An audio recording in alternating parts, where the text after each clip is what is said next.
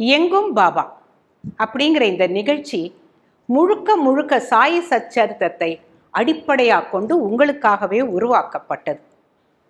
சாய் அன்பர்கள் பலருடைய வாழ்க்கையில் இந்த சச்சரித்தம் புஸ்தகம் பலவித பிரச்சனைகளுக்கு தீர்வு தரதோடு இல்லாமல் மனதுக்கு ரொம்ப ஆறுதலை தருது அப்படிங்கிறது அவங்கவங்க வாழ்க்கையில் கண்ட அனுபவம்.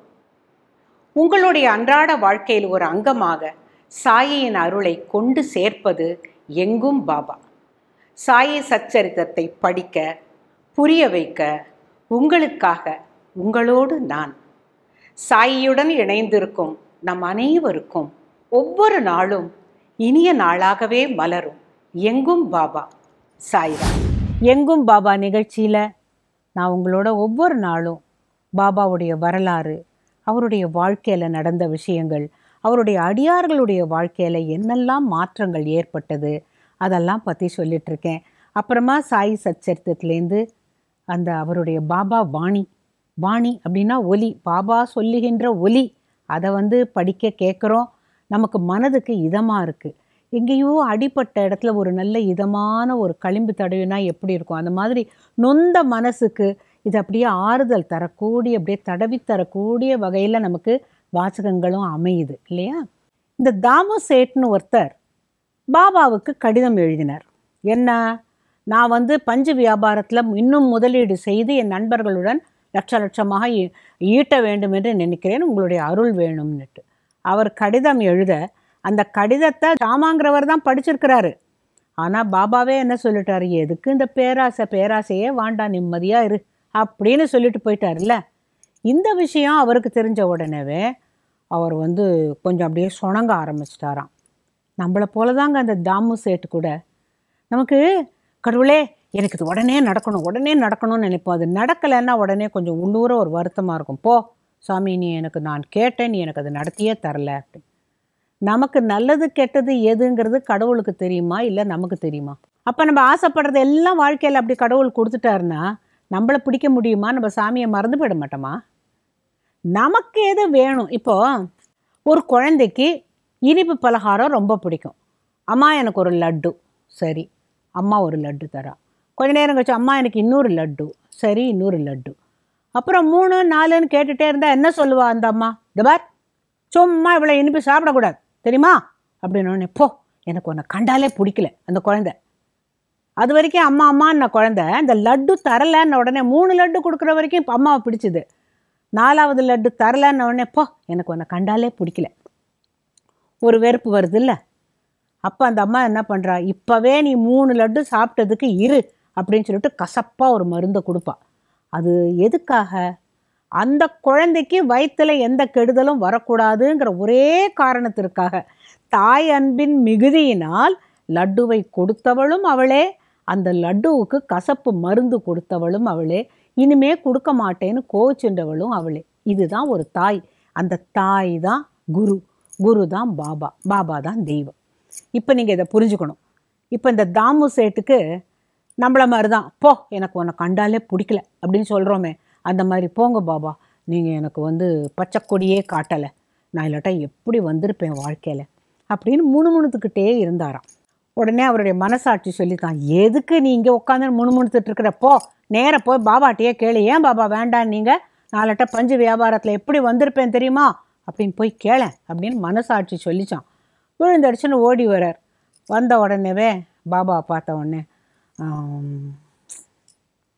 என்ன? நீங்கள் வேண்டான்னு சொல்லிட்டீங்க. நான் அந்த பஞ்சு வியாபாரத்தில் வேண்டாமே.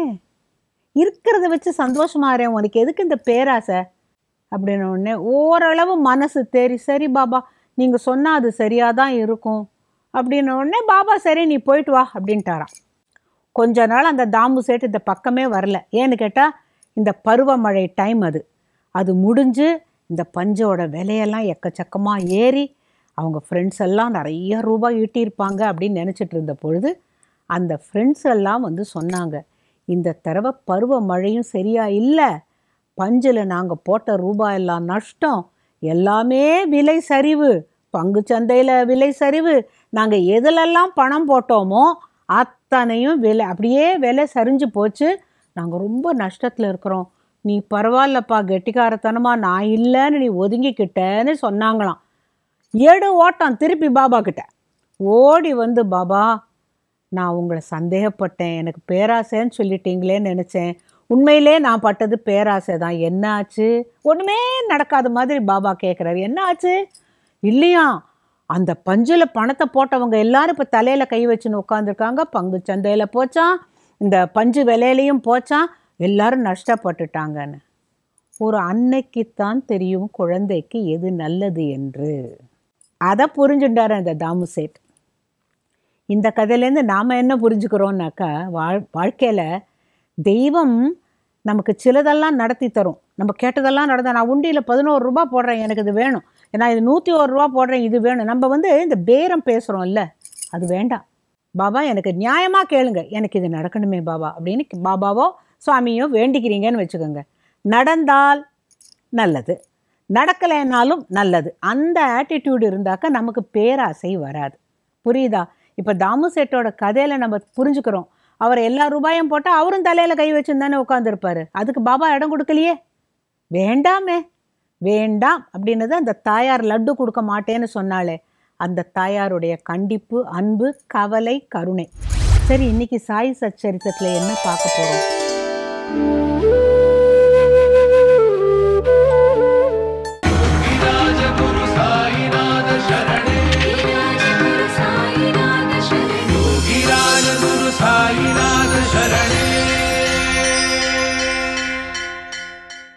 பாபா அங்கே வரவங்களுக்கெல்லாம் அந்த துணியிலேருந்து அந்த சாம்பலை தருவாராம். அதுதான் உதி.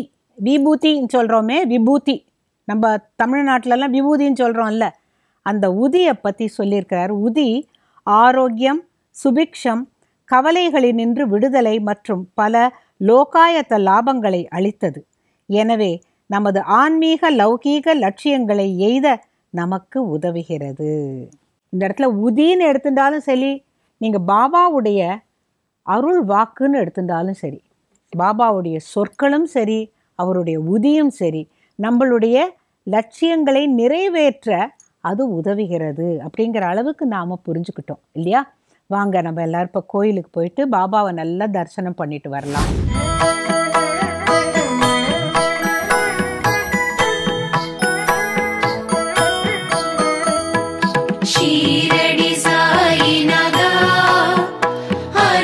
party.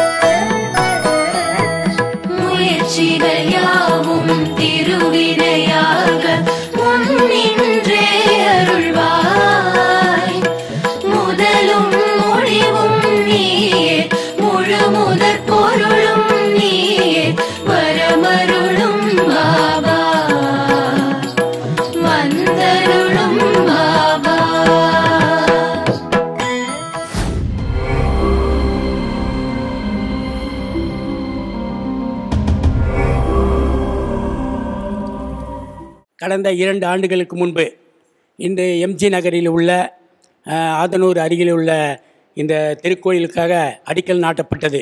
ஆனால் பச்சைக்கல் மரகத சாய்பாபா. அன்று முதல் இந்த கோயில் எப்பொழுது சிறப்பாக அமையும் என்று கடந்த இரண்டு வருடங்களாக இங்குள்ள அனைத்து பக்தர்களும் காத்து கொண்டிருந்தோம். கடந்த மாதம் ஜூன் மாதம் இத்தோ கோயிலில் திருக்கோயிலில் கும்பாபிஷேகம் நடைபெற்று சிறப்பாக க கடந்த ஒரு ஊர்வலமாக சிறப்பாக நடைபெற்று வருகிறது. எவ்வரி மா வியாழக்கிழமை மதியத்தில் இங்கு கோயிலின் திருக்கோயிலின் சார்பாக பக்தர்கள் அனைவருக்கும் அன்னதானம் வழிப வழிபடுகிறது. கடந்த நவராத்திரியின் போது கடந்த ஒம்பது நாட்களும் இத்திருக்கோயிலில் சிறப்பாக மாலையில் பூஜைகள் சிற வெகு சிறப்பாக நடைபெற்றது.